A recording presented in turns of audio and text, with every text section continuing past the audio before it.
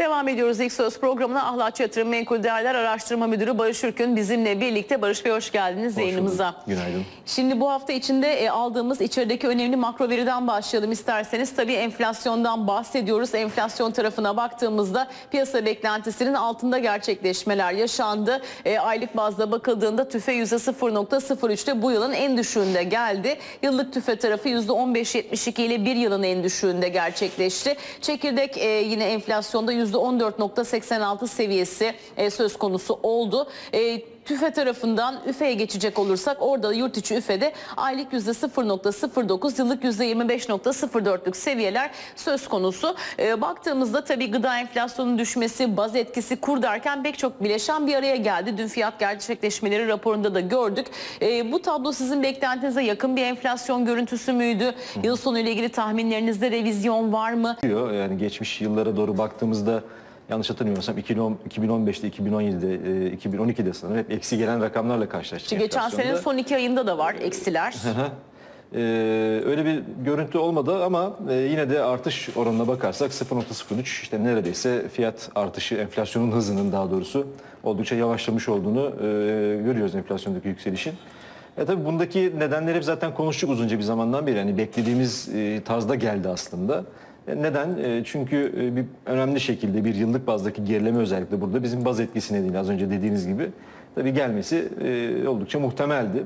O yüzden de %18.70'lerden 15.70'lere doğru bir geri çekilmenin bir baz etkisini verdiği en önemli etken olarak burada olduğunu tabii söylemek lazım. E, tabii burada e, Mayıs enflasyonunda gündeme geldi ilk olarak bakarsak işte gıda fiyatlarında yavaş yavaş biraz mevsimsel etkilerin verdiği avantajla gıda fiyatlarında bir miktar geri çekilmeyi görmüştük. E, onun da biraz daha etkisinin bu enflasyon, Haziran enflasyonunda e, biraz daha enflasyondaki bu e, seyre katkı sağladığını da burada görüyoruz.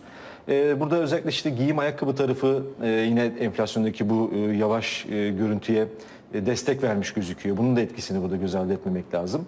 O yüzden de böyle bir sonuç ortaya çıkmasını tabii ki normal karşılıyoruz. Özellikle baz etkisini verdiği buradaki etkiyle bunu değerlendirmek lazım. Çekirdek enflasyon tarafına bakarsak orada da bir miktar gerileme olmakla birlikte yani bana baktığımda mesela e, yıllık bazlı gerilemelerde çekirdek enflasyon tarafında gerilemenin biraz daha sınırlı olduğunu da görüyoruz. Bunu da biraz daha dikkat ederek et- dikkat etmek lazım. Tabii ki bir gerileme var. E, Mayıs ayındakine göre bakarsak yıllık bazda orada da bir gerileme var. Ama mesela gerileme piyasa terminalde eğiliminin- 14.65 bekliyordu. Yani o kadar düşüş olmamış. olmamış. Yani orada hani işte son günlerde e, özellikle dolar tarafındaki o volatilitenin düşmüş olmasının verdiği etki çekirdek enflasyon tarafındaki bu düşüş hareketinin e, sağlanmasında tabii etken olsa da yani bir sonraki günlerde işte bu dolar kaynaklı işte hareketler e, biraz hani çekirdek enflasyonun daha fazla düşüş eğiliminin bu şekilde gerçekleşmemiş olmasına neden olmuş olur. Önümüzdeki günlerde de bunu bu şekilde belki de görebiliriz. Oradaki özellikle kur tarafındaki hareket burada belirleyici olacak diye bunu söylemek lazım. E tabii bu e, ay içerisinde yani Haziran ayı içerisinde e, petrol fiyatlarının da verdiği bir katkı da burada önemli etkendi. Petrol fiyatlarında çok önemli bir yüksek seyir görmedik. Bunun da verdiği bir etken burada var. E, bence en önemli etkenler bunlar tabii enflasyondaki geri çekilmede. E, Tek hane bekliyor musunuz önümüzdeki aylarda e, Barış Bey? Çünkü mesela e, baktığımızda geçen senenin mesela Eylül ayında kur şokuyla gelen aylık bir %6.30 vardı. Bu arada negatif demişken geçen senenin son iki ayında eksileri takip edebiliyoruz. Grafiğimizde de var ama oraya gelene kadar e, aslında güçlü baz etkileriyle karşılaşacağız. Evet, Acaba evet. tek hane beklentiniz olur mu? E, Sayın Bakan bekliyor tek hane. Hatta yıl sonunu da hedefin altında kaparız dedi. Yeni ekonomi programı hedefi %15.9. Tek hane olma olasılığı yani buradaki hani hep konuştuğumuz baz etkisi nedeniyle e, bence olma ihtimali var. E, ama tabii burada e, en önemli etkenin yine bence burada kur olduğunu yine göz önünde bulundurmak lazım diye düşünüyorum. E, şimdi kur tarafında e, bizim özellikle küresel ekonomik konjonktürün de vermiş olduğu e, katkıyla birlikte e, işte hani Fed'in faiz indirim sürecine doğru gidiyor olması, işte ECB'nin genişleyici para politikası, onun da faiz indirime doğru gelme ihtimali belirmesi özellikle kur tarafındaki bizim işte volatilitede düşüşün e, sağlanmasına en önemli katkıyı sağladı şu andaki kısa vadeli görüntüde. E, tabii diğer siyasi risk unsurlarının da son gelişmeleri itibariyle baktığımızda işte bu G, G20 zirvesinde S-400'lerle ilgili yaptırımların işte daha hafif olabileceğine dair beklentinin de biraz daha fiyatlamanın içine girmiş olması şu anda kur tarafındaki işte volatiliteyi düşürmüş gibi gözüküyor ama e, Temmuz ayına itibaren işte özellikle işte pazar günü gelmesi beklenen ilk işte e, kargo yükleneceği söyleniyor e, S-400'lerin. Onların buraya gelmesinden sonraki süreçte e, o yaptırımlar konusundaki gelişmelerin bence takip edilmesi gerekecek. Yani bu taraftan ya- gelecek bir gelişme kur tarafındaki volatilite tekrar yükseltirecek olursa e, bunun vereceği etki belki enflasyona burada tabii ki olumsuz bir etki edebilir. Çünkü hani az önce çekirdek enflasyondan bahsettik. Oradaki düşüş biraz daha temkinli gerçekleşmiş. E, kur tarafında yeniden volatilite bir artışı meydana gelecek olursa e, enflasyon tarafındaki yukarı eğilimin tekrar gündeme gelmesi mümkün olabilir. E, tamam yani dış ta- iç talep koşullarındaki yavaşlamadan bahsediliyor işte dünkü TCMB'nin raporunda da bunu e, gözledik. İç talep koşullarındaki zayıflamanın enflasyon tarafındaki yükselişin Evet. sağlanmamasında özellikle bir etken olduğunu söylesek de e, kur kaynaklı bir yükseliş özellikle işte son günlerde jeopolitik e, endişelerdeki artışla petrol fiyatları şu anda yine biraz daha sakin seyretse de yukarı eğilim göstermesi durumu olursa bunları bir çekince olarak e, bence göz önünde bulundurmak lazım enflasyon konusunda. Bunlar olursa e, tek hane görme olasılığı bir miktar düşebilir fakat e, baz etkisinin vereceği etki özellikle Eylül ayındaki bu e, özellikle önemli etkinin e, eğer bu gelişmelerde olumsuz bir süreç olmazsa tek haneye doğru gelme ihtimali o zaman biraz da e, mümkün olabilir gibi gözüküyor. Tabii e, elektri, e, son günlerde gelen zamlar işte elektrik zamları işte alkol, sigaraya gelen e, ayarlamalar, e, fiyat yükselişleri o tarafta tabii ki bir miktar enflasyon tarafına katkı sağlayacak gibi gözüküyor. Yaklaşık işte 2 puana yakın bir e, etkiyi göreceğiz burada. Ama tabii bu e, baz etkisinin vereceği etki işte özellikle Eylül ayında şu anda Temmuz ayına bakarsak bir baz etkisi görüntüsü olmayacak burada belki ama e, ondan sonraki süreçteki Eylül ayındaki etkiyle birlikte e, bunun biraz da bertaraf edilmesi belki olabilir. E, az önce bahsetmiş olduğum o çekinceler, e, oradaki o görüntüde olumsuz bir seyir tekrardan oluşmaz ise enflasyon tarafında o belirt bahsettiğimiz aylarda bir e, tek haneye doğru iniş gerçekleşebilir. O yüzden hani bu e, hem ekonomi anlamında hem de siyasi anlamındaki gelişmelerin kur üzerine etkisi ve petrol fiyatındaki gelişim bence önemli takip edilecek konular anlamında e, söylenebilir diye düşünüyorum.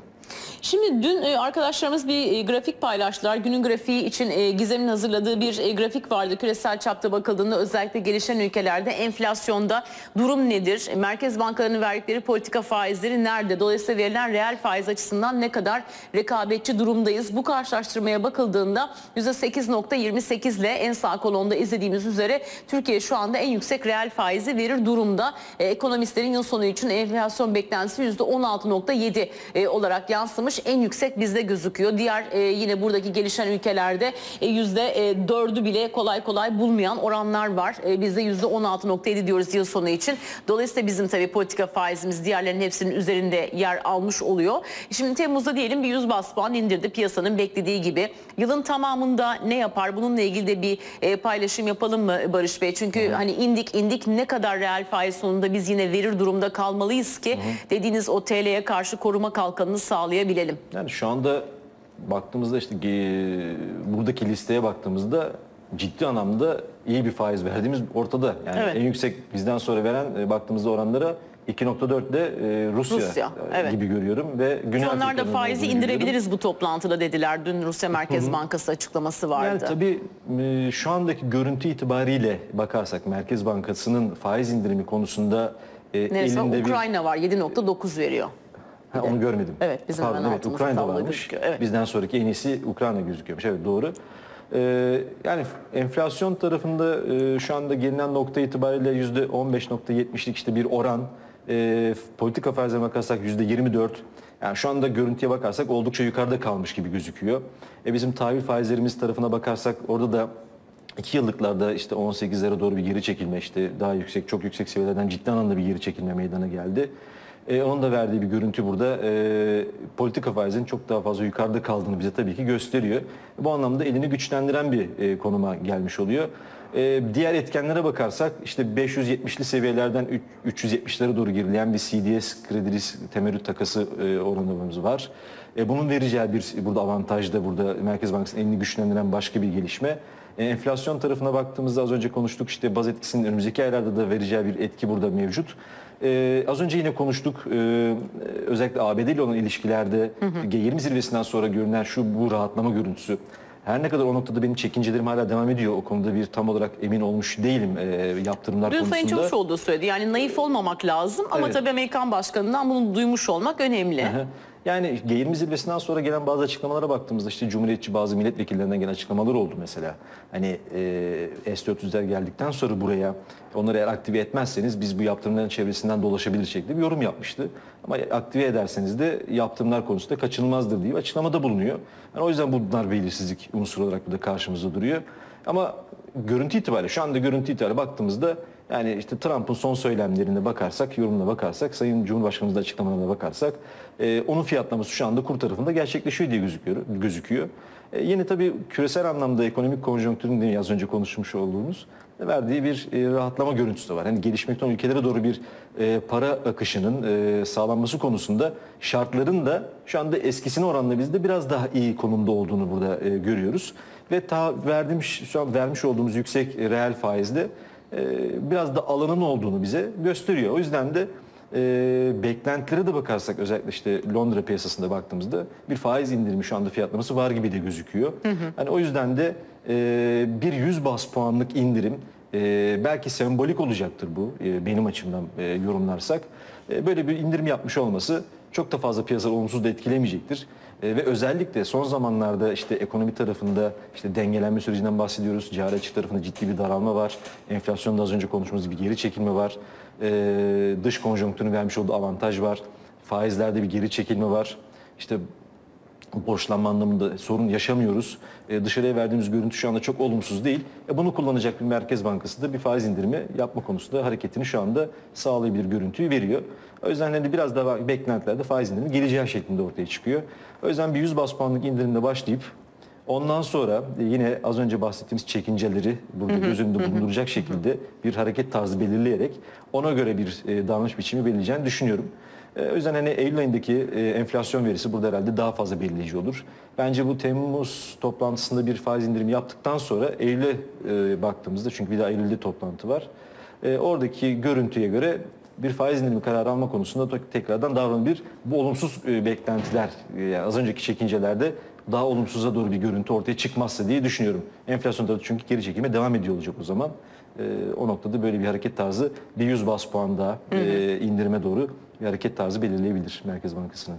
Şimdi az önce siz de söylediğiniz Barış Bey esasında dolar TL'de mesela bir aylık zımni oynaklık grafiğini çizdirdiğimizde gerçekten de aşağı yönlü bir hareket var. Bunun da aslında şimdilik merkezi desteklediğini görüyoruz ama Evet. e, oynaklığın yükselmesini dediğiniz o saydığınız unsurlardan biri sağlayacak olursa daha önce olduğu üzere merkezin tepkiler vermesini beklemekte tabii yerinde olacak. E, Gizem Öztok Altınsaç Özyeğin Üniversitesi öğretim görevlisi hafta başında stüdyo konuğumuzken de söylemişti. Merkez Bankası'ndan 150 bas puan civarı bir Temmuz faiz indirimi beklentisi içindeyim dedi. O da sizin gibi swap eğrisine dikkat çekti. Ekrana getiriyoruz. enflasyon geldikten sonra ve pazartesi de dahildir buna. 100 bas puan bekliyorduk Temmuz'da ama şu anda swap tarafına baktığında orada da Temmuz ayında artık 200'e çıkmış durumda fiyatlama. Bu Temmuz'da. Evet, evet. 200. Ne yaptın Gizem? ya? Ben yapmadım canım. Ben sana fiyatlamadan bahsediyorum. Ben ama minimum 150 beklentimi zaten hani dönem dönem konuştuğumuzda Sen paylaşıyorum. 100 Merkez Bankası faizi yukarıda kalmış durumda. Piyasadaki tüm fiyatlamaların üzerinde. Yani bayağı belirgin sıkı durdu Merkez Bankamız. O yüzden şu aşamada yeri var. Şunu soruyorsan 200 gelirse TL bozulur mu? Hayır zaten şu anda swap'ta. Fiyatlanan şey bozmaz burayı anlatabiliyor muyum? Ama Keşke hani böyle sakin 150 işte Eylül'de de 150 öyle gitse şundan çekiniyorum. Ee, şimdi biz muhtemelen tek haneyi göreceğiz gerçekten. Evet. Ee, ve onu gördüğümüz Son an... zamlara rağmen. Evet evet. Hatta şöyle söyleyeyim. Zamların etkisi Temmuz ayında 1,5-2 puan. Biz Temmuz ayında yükselen yıllık enflasyon göreceğiz. Yeniden 17'ler %17'ye falan, değil doğru. Aynen öyle. Fakat onun akabinde çok hızlı geriliyoruz. %10'lara belki bir miktar altına. Sonra yeniden 13-14'e çıkacağız. Zaten Türkiye'nin testi orada başlıyor. 13-14'ü Türkiye'nin kalıcı kırması çok zor. Bu ayrı konu. Onu o zaman konuşuyor oluruz. O yüzden hızlı gitmemesi gerektiğini düşünüyorum. Şimdi e, az önce Barış Bey tabii bir sürü belirsizlikler saydınız. Bunlara ilişkin tabii bir e, koruma güdüsü, bir güvenli liman arayışı mutlaka var. Diğer tarafta enflasyon beklentilerinden e, bahsettik. Hepsini üst üste toplayınca DTH tarafında tabii epeydir 180 milyar doların üzerindeki rakamlardan bahsediyoruz. Geçen hafta orada gerçi 1.1 e, milyar dolarlık bir düşüş olduğunu da görmekteyiz. Hemen şöyle kırılımını da arkadaşlarımız ekrana getirdiler. Aslında e, bireyler tarafında 522 milyon dolarlık bir alım olduğunu, kurumlar tarafında 1.6 milyar dolarlık bozum olduğunu görüyoruz ve nette bakıldığında 1.1 milyar dolarlık bir e, azalma olmuş. 187 milyar e, dolar civarından 185,5 milyar dolar civarına gelen bir e, DTH hareketimiz var. E, dolarizasyon önüne geçmek için aslında pek çok tale, e, pe- tedbir de alındığını gördük. E, bir önceki günden e, devreden bir e, videomuz da var. Dün sabah da göstermiştik. E, pek çok adım atıldı işte merkez attı, BDDK attı derken e, yine BSMV ile ilgili binde birden binde ikiye çıkabileceği, Cumhurbaşkanı bunu 10 katına çıkarabileceği e, şeklinde bir haber de Reuters bu hafta içinde geçti. E, dolarizasyonun ne kadar daha sürmesini beklersiniz? Bu tip adımlarla bunların önü alınabilir mi? Şimdi ne zamandan beri diyelim bu ekran görüntüleri ben çok beğendim. Dün hatta Bunlar Nisan'dan aldım. beri olan Tabii tabii, e, tedbirler. Arkadaşlarımız olmuş. hazırladılar sağ Yani olsunlar. Mayıs ayın, ayının özellikle işte hatta Mart ayına da sarkıyor. O zamandan beri alınan çeşitli birçok önlemler var. Ee, ve bu önlemlere rağmen baktığımızda e, gerçek kişilerin, hane halkının e, dolar döviz talebinde diyelim e, bir geri çekilmenin olduğunu göremiyoruz hala baktığımızda. Yani yukarı yönlü eğilim az önce vermiş olduğunuz grafikte yani bu son haftada işte geçtiğimiz haftanın verilerine de baktığımızda e, yine aslında gerçek kişilerin e, döviz talebinin devam ettiğini burada e, görebiliyoruz.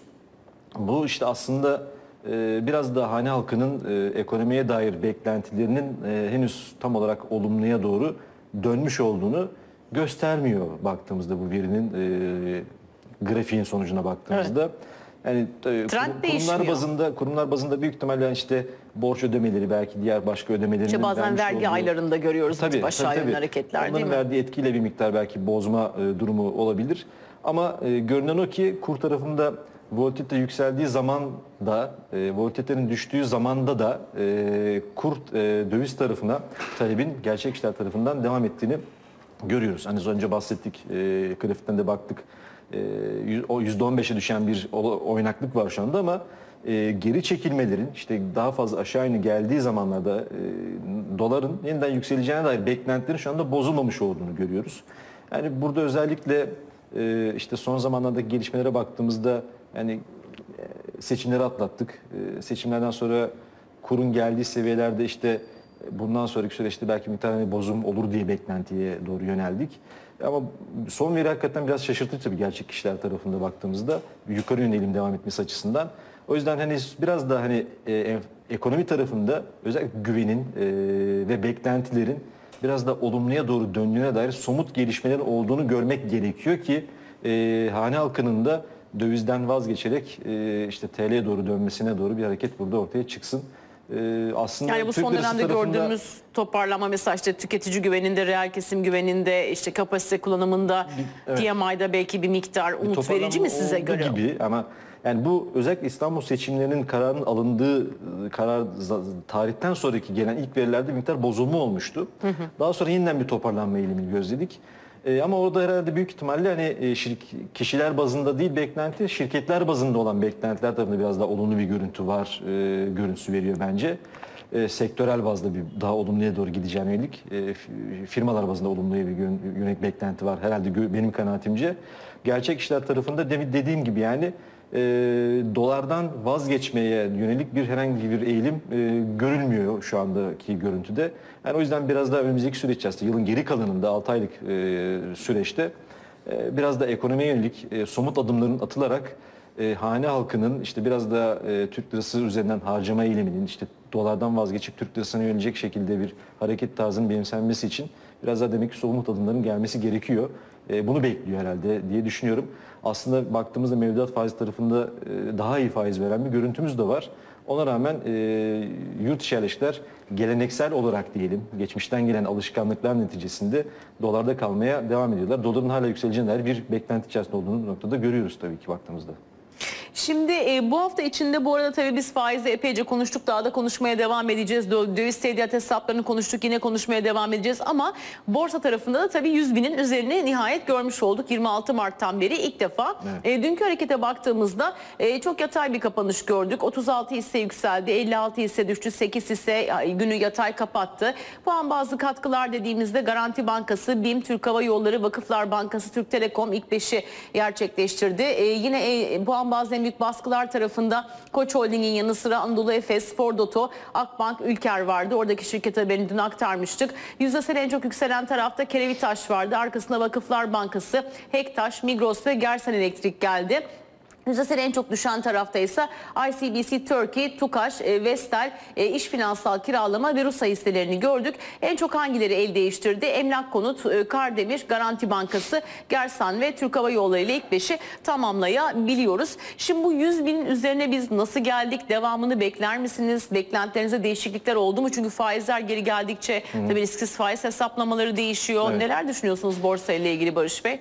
Evet faizler e, geri geldikçe değerlemeler tarafındaki yapılacak ayarlamayla e, hisse fiyatlarında yukarı yönlü bir e, güncelleme durumu da olacak tabii ki. Beklentiler anlamında da o şekilde e, yukarı yönlü evrilme durumu olabilir. Hani az önce bütün bahsetmiş olduğumuz e, hem küresel ekonomik konjonktürün verdiği avantaj hem içerideki yaşanan gelişmelerin verdiği görüntü biraz daha işte içeride rahatlamayı e, ortaya çıkarttı fiyatlamalar anlamında. E, onun verdiği görüntü dediğimiz gibi tahvil faizleri tarafında özellikle aşağı eğilim şu anda gösteriyor. E, ve tabii risksiz faiz oranı hesaplamasında da yapılacak ayarlamayla dediğimiz gibi yukarı eğilim olabilir. E, ama Borsa İstanbul'da işte 23 Mayıs'ta sanırım e, o hafta o haf- 20 Mayıs haftasıydı sanırım. O gün işte 83.500'ü denedik. Çok e, görülen dip seviyedi ve önemli bir destek seviyesiydi. Oradan itibaren yabancı girişlerin yavaş yavaş başladığını gözledik. Oradan itibaren bir tepki hareketi ve e, gelinen nokta itibariyle özellikle İstanbul seçimlerini de atlatmış olmanın verdiği etkiyle yani konuşmuş olduğumuz işte seçim belirsizliği ortadan kalksın işte önümüzde bir 4 yıl var o 4 yıllık bir seçim atmosferi olmayacak bir süreç ortaya çıkacak. E, bu noktada işte daha fazla işte kendi iç ekonomik yapısal sorunlarımıza odaklanabiliyor olacağız. E, bu noktada işte e, bununla ilgili beklentiler biraz daha olumluya doğru ilerleyebilir. E, tabii yurt dışının verdiği etkiden hep bahsediyoruz. İşte Fed'in ve ECB'nin politikalarını değiştirmek e, noktasına gelmesi itibariyle e, biraz daha gelişmekte olan ülkelere doğru getiri arayışının e, artmasıyla birlikte e, tabii ki bundan da faydalanan bir Borsa İstanbul hareketinin olduğunu görüyoruz. Yani burada özellikle işte dolar bazlı çok ucuz seviyelere gelmiş olmamızın verdiği etki de tabii ki burada var. Diğer borsalara karşılaştırarak baktığımızda tabii ki burada getiri potansiyelinin o yüzden biraz daha ön planda olduğunu e, göz önünde bulundurmak lazım. E, tüm bu etkiler tabii ki yükselişin hız kazanmasına sebebiyet verdi. Ve tabii ki bu e, G20 zirvesinden e, çıkan sonuçlar e, piyasanın algısı bakımından e, S400'lerle Pozitif, evet. ilgili yaptırımların e, çok da sert olmayabileceği algısını da oluşturduğu için yani o taraftan bir etkinin de bu noktada işte yükselişleri devam ettiğini burada e, gördük. E, işte bu etkiyle birlikte 100.500'e doğru bir yükseliş e, en fazla oraya kadar gelen bir hareket e, oldu. E, ve 100.500 aslında o bence oldukça önemli bir seviye. Çünkü e, daha önceki hareketlerde 100.600, 100.700 e, seviyeleri önemli dirençti daha önceki seviyeler olarak bakarsak. Oraya geçtikten sonra bir 105.000, 106.000 denemesi yap- yaptık. Daha sonrası geri dönüşte orası tekrar destek olmuştu. Ondan sonra tekrar e, hızlı bir şekilde aşağı gelmiştik. Şimdi yeniden orası direnç olarak çalışıyor gibi gözüküyor. E, bunun da daha fazla üzerine doğru çıkmamasındaki bence en önemli etken de işte ilk o G20 fiyatlamasını gerçekleştirdik. Oradaki iyimser fiyatlama gerçekleşti. Ama ondan sonraki süreçte işte gelen açıklamalara baktığımızda e, yani biraz daha işte ne olabileceğine dair bir beklentinin şu anda biraz daha hakim olduğunu bu noktada e, görüyoruz diye düşünüyorum. Yani ben e, evet yani enflasyon da iyi geldi. Hani az önce konuştuğumuz gibi ekonomik anlamda da bir miktar hani dengelenme süreci kapsamında e, biraz daha işte beklentinin olumluya doğru gitme beklentisi de görüntüsü de var gibi de gözüküyor şu anda. Ama bence ekonomi dışında özellikle ABD ile ilişkilerimizde görüntü ne yöne doğru gidecek? Artı yine ekonomi dışından bahsediyor olacağım. E, Doğu Akdeniz'de işte devam eden bizim bu sondaj çalışmaları kapsamında yaşadığımız bazı gerilimler işte Avrupa Tabii tarafından sesler Amerika değil, yükseliyor. tabii. Sesler yükseliyor. E, o noktada işte yaptırımlar uygulanması konusunda çağrılar yapılıyor. E, bence önümüzdeki süreç içerisinde e, Temmuz ayının devamında Ağustos ayı içerisinde bence buna dayalı gelişmelerin de Borsa İstanbul fiyatlamaları üzerinde bence etkisi olabileceğini o yüzden düşünüyorum. Bence o yüzden 100.500'e gelip orada bir dirençle karşılaşıp bir miktar düzeltme hareketi, bir miktar kar alma e, görüntüsü. Dün abi de piyasaları da tatildi zaten. Biraz daha düşük işlem hacimleriyle yurt içinde Evet. hareketler oldu. Onun da verdiği etkili bir miktar daha düzeltme hareketinin devam ettiğini gördük. E, 98.500'de güzel bir destek e, oluşturdu e, gözüküyor. O yüzden hani biraz da ekonomi kaynaklı gelişmelerden ziyade bu dış piyasalardaki gelişmeleri takip edecektir. Artı e, Merkez Bankası'nın işte yavaş yavaş yaklaşan 25 Temmuz'daki toplantısında alacağı kararında biraz etkili olabileceğini burada düşünüyorum. Yani çok fazla etkili olmayacaktır. Büyük ihtimalle bunlar fiyatlandı diye de düşünüyorum. 100 bas puanlık indirim piyasada çok çok önemli bir etki yaratmayacaktır diye de bekliyorum ben. Olur da 150 ya da 200 bas puan yaparsa bence o zaman daha fazla etkisini görürüz. Ama tabii bir faiz indirimi yapılması en azından hani piyasa beklentilerini de karşıladığı için e, ve diyelim ki 24'ten 23'e indi. Belki bankalara e, bu inen bir faiz e, kredi anlamında çok büyük bir potansiyel sağlamayacaktır ama bir sonraki aşamadaki beklentiler açısından Merkez Bankası'nın faiz indirimine devam edebileceği algısını burada ortaya çıkartabilir. Yani kredi piyasasına baktığımızda çok büyük bir canlanma olduğunu şu anda hala görmüyoruz. Ama tabii faizlerdeki aşağı inme eğilim e, ve buna dair beklentiler biraz da oluşması bence bankalar tarafındaki hisselere, e, bankasına biraz olumlu da yansıyabilir. Bu taraftan da bir etkiyi bence görebiliriz. E, Artı e, küresel konjonktür işte az önce de yine konuştuk tekrar değinelim.